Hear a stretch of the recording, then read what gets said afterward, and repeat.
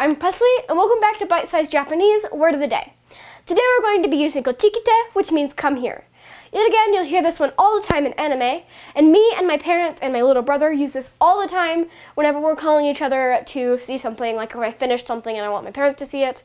Um, so it's just super helpful. I use it all the time, and I think you guys will use this one in your vocabulary a lot too. Make sure to listen for it in your favorite anime and use it in conversation with your friends. Thank you for watching, and until next time, कम बचा है